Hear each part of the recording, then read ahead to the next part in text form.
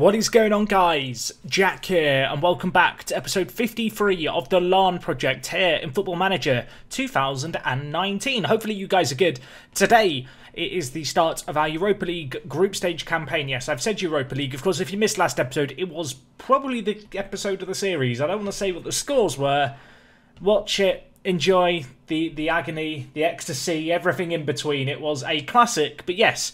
Europa League draw has been made. Um, we're only about a half month ahead of where we were last time out. And, uh, well, if we just look at our group here, you can see we are in a group with Ajax, Lokomotiv Moscow, and also FC Luzern, who, um, well, I feel like in this group it's perhaps easier than some of the other groups we've had. We were the third seed, uh, Moscow being second seed, and Ajax being the favourites to get out of the group. Today we are going to be starting things off with the game against Ajax. Uh, one thing just to be aware of um, is you'll notice that the Europa League games go on this year till, well, January, which is kind of nice actually because um, it benefits us in a weird way in terms of spacing back perhaps out this season and pacing things a little bit better. Uh, the reason for that is it is the Qatar World Cup year. So in FM, the Qatar World Cup does happen. Um, most of the major leagues have a break in kind of November, December time. We have a mini break of sorts in November, which does see uh, our fixture schedule get more kind of crowded earlier on as a result. Um, but yeah, basically all the other major leagues are going to have a break. I don't know how many of our players are going to be impacted. I don't think that many will be. But um, yeah, just worth being aware of that. I feel like this year as well, we probably won't do every single game within the Europa League as a live com. Although next episode, I might do the Lokomotiv Moscow and the Millwall, uh, Millwall, Motherwell. Uh, it's the reserve team though. I was to say I might do the game against Motherwell. That isn't that interesting when it's their reserve team. Maybe we'll do Lokomotiv Moscow and Glenavon because really Glenavon and Lokomotiv Moscow, two big games for us either side of well a weekend essentially, Thursday and a Saturday, the two matches. Um, although we've got Ajax here as well. The the fixture scheduling around the Qatar World Cup is bizarre, isn't it? So actually, we'll do today's episode against Ajax, then next episode we'll do Ajax and Lokomotiv Moscow. Then we'll do something in between, maybe a league game, maybe one of the games against Luzern. We'll play it by ear. You know what? I should have planned this before I started the live com. I didn't. I will live to regret it. Anyway, since you were last here, just a few games. We'll go through the, the bigger of the games. You can see against Ballymena, a 2-0 win to start things off. Good result this one, Justin Wright with both of the goals for us. Uh, pretty convincing performance all in all. Um, yeah, right, got two goals, took him off, just rested him a little bit. And against Ballymena, who have been a emerging powerhouse. I want to say powerhouse, that might be generous to them, but certainly a team who have pushed us in the last couple of seasons.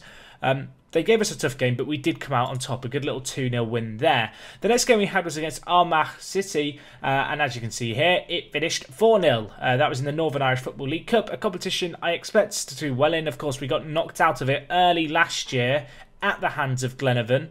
Hopefully we can turn things around and win it again this year, that cup competition. Anyway, our next game against Glentoran, a team who have been fairly prevalent here. Uh, two goals from set pieces for us.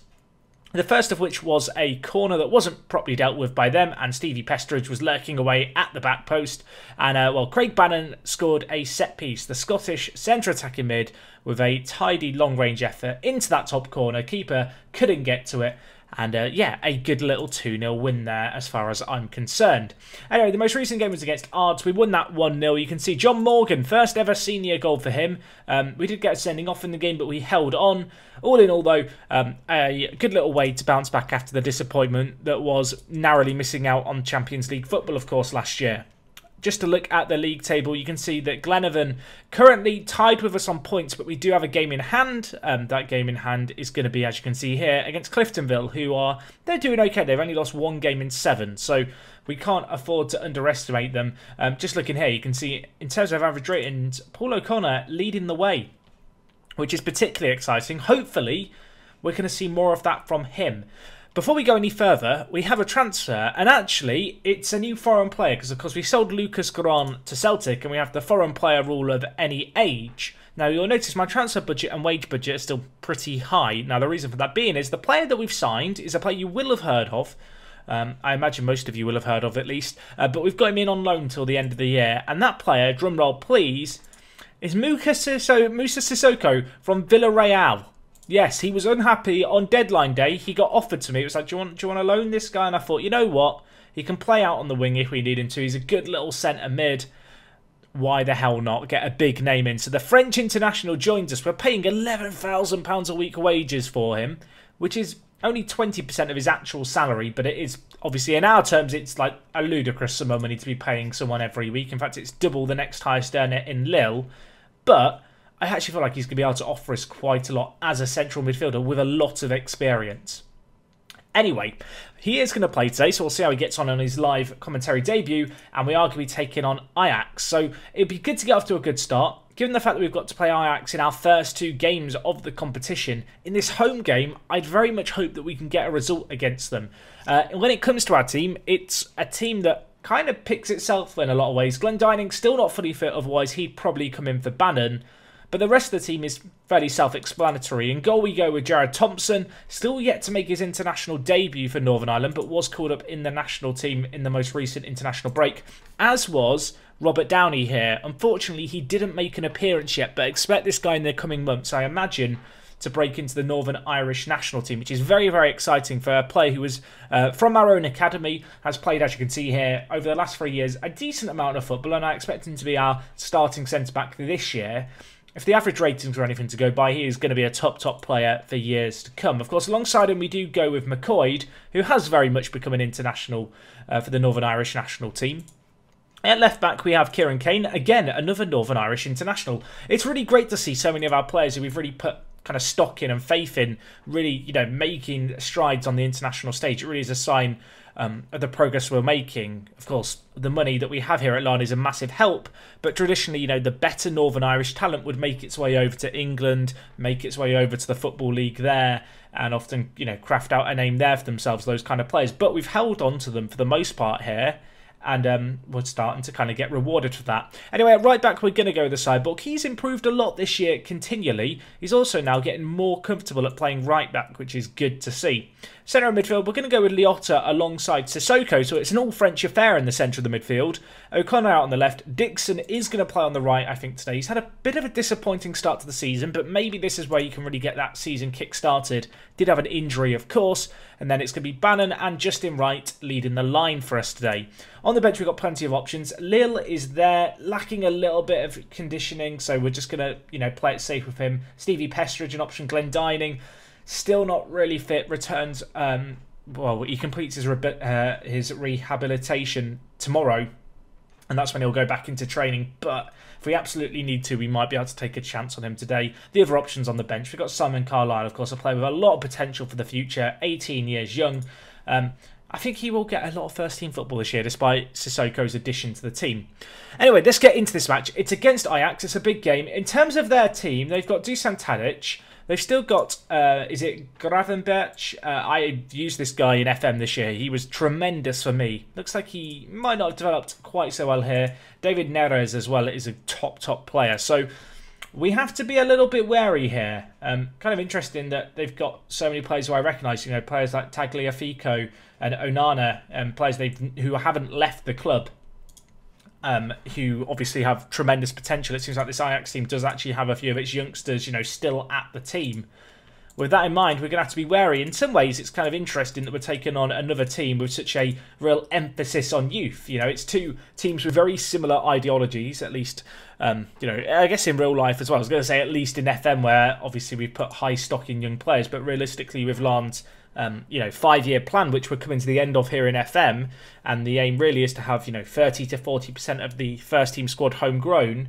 Um, I guess the ideologies and that you know the plan that planning that Larne has around its youth academy is actually quite similar to Ajax's in a lot of ways.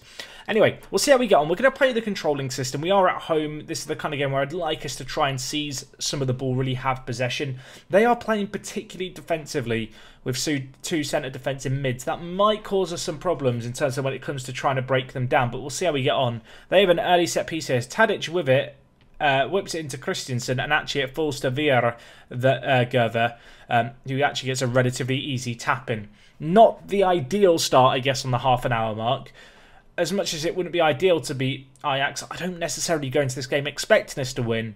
And I do feel like the games against Lokomotiv, uh, Lokomotiv Moscow are going to be more deciding, I guess, ultimately, when it comes to uh, you know, just how we get on in terms of getting out the group stage again, like we did last year. I feel like Um, last year, of course, in a group with Manchester United and Lille, we showed our potential as a team who can really cause an upset. That is something I very much want to be replicating again this year.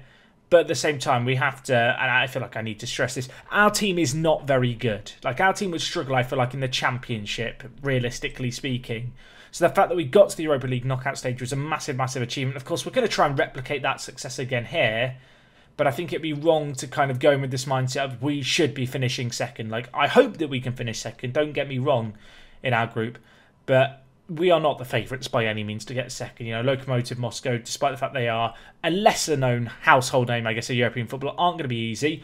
But we have the upset potential, and well, Craigie Bannon has shown that there. The cyborg with the ball in Back post header for Bannon, a really tidy header, nicely worked, and well, having conceded somewhat disappointingly from a set piece, we get a goal here. You can see Sissoko involved in the build-up play. Cyborg on his weaker foot whips it in. It's a beautiful header by Bannon. It's got to be said, directed with real accuracy there into that top corner. Onana with absolutely no chance. And well, can we keep that momentum going? Two minutes later, another highlight for us. Bannon switches the play to O'Connor. Has been in great form in the league, but dispossessed this time by Tadic.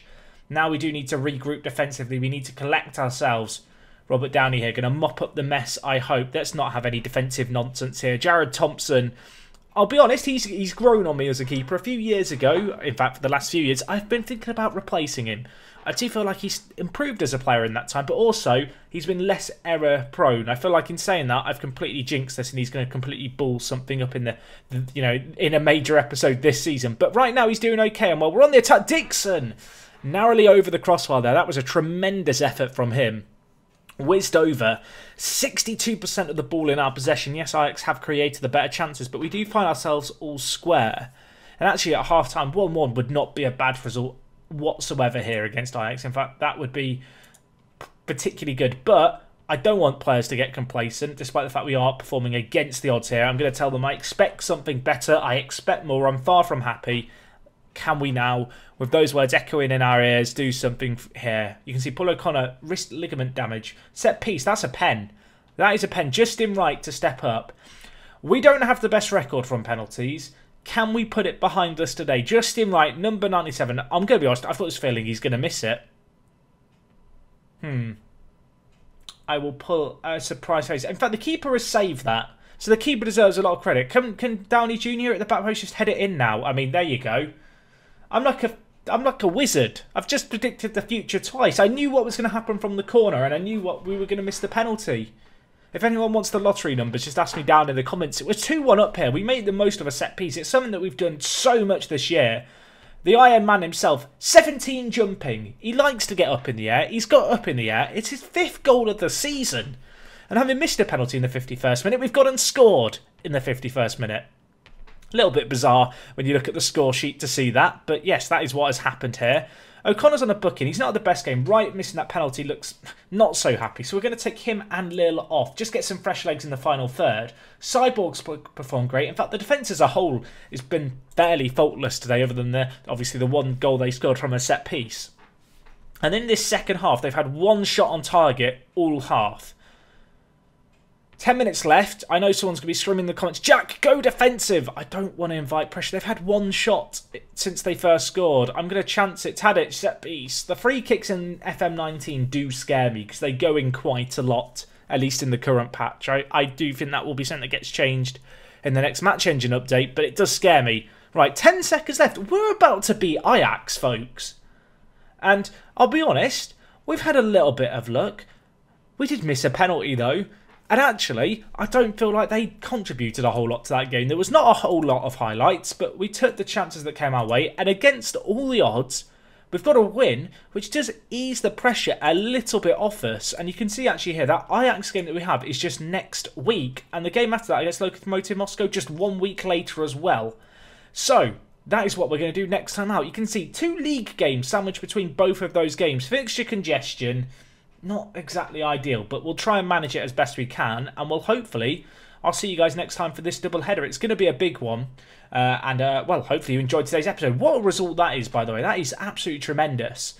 And um, hopefully that can, well, put us in good stead now to go on and get a good well result throughout. You can see actually, I was going to say they've drawn. They haven't drawn. They actually play later. Let's see. Let's just see what the score is between Lokomotiv Moscow and uh, I'm trying to remember who the other team was. Was it Luzern?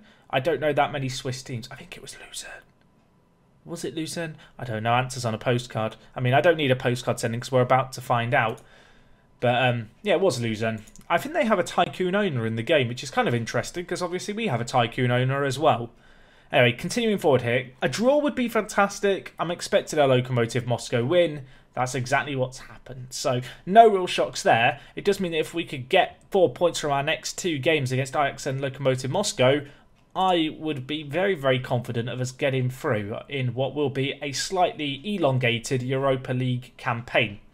But anyway, I've rambled on for long enough today. Hopefully you guys have enjoyed. What a result that is. That is absolutely tremendous. And hopefully we can keep it going. And I'll see you guys next time out where we will be travelling um, to the Johan Cruyff Arena. And also, what's Lokomotiv Moscow's ground called? It's literally it's literally called Lokomotiv Moscow. Okay, well that's underwhelming. Right, I'm going to go on that bombshell. See you guys later. Thank you for watching. It is me, Jack, and I will talk to you guys in a bit. I'm out.